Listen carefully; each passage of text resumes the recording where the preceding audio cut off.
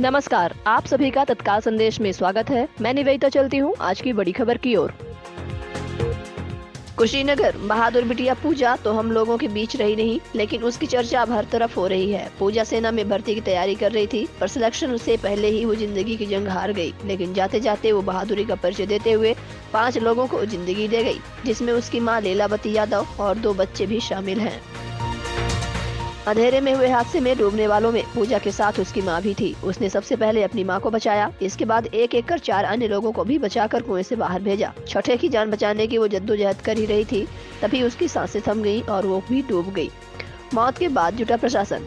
इस तरह से एक बहादुर बिटिया की ज़िंदगी की डोर थम गई। आर्मी मैन पिता बलवंत यादव को अपनी बिटिया की शादी की चिंता थी, लेकिन न तो सिलेक्शन हुआ और न ही शादी हो सकी। अब उसका अंतिम संस्कार करने की तैयारी की जा रही है। पंचतत्व में विलीन हुई बहादुर बिटिया। बताया जा रहा है कि छठे की जान बचाते समय उसका संतुलन बिगड़ गया और खुद पानी में समा गई। प्रत्यक्ष दर्शियों के मुताबिक पूजा पर सभी को बचाने की धुन सवार थी। रोते बिलखते लोग पूजा का हौसला याद कर उसका ही नाम ले रहे हैं। उन्होंने कहा, पूजा ने जब पाँच लोगों को बचाया तो उनके मन में आस जगने लगी, लेकिन छठवें को बचाने के दौरान उसका खुद का संतुलन बिगड़ गया और वो हम सबको छोड़कर चली गई। लाशें उड़ते ही गाँव में मची चीख पुकार। मातम में बदली शादी की खुशियाँ, पूजा। बी द्वितीय वर्ष की छात्रा थी। उसके दो जुड़वा भाई आदित्य और उत्कर्ष है।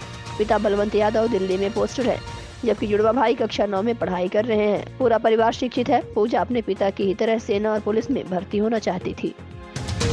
और नई खबरों के लिए आप बने रहे हमारे साथ। सबसे पहले न्यूज़ पाने के लिए चैनल को लाइक, सब्सक्राइब, शेयर करना ना भूलें।